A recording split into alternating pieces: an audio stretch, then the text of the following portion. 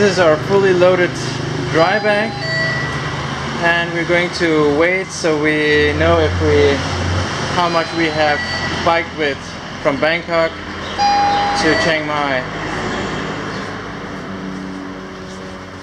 You need to pay one baht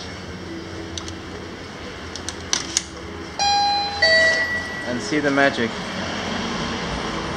Oh, it didn't work. It's there.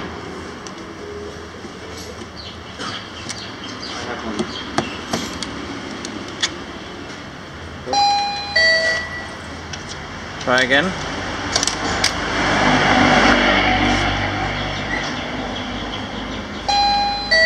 Twenty-two point eight kilograms.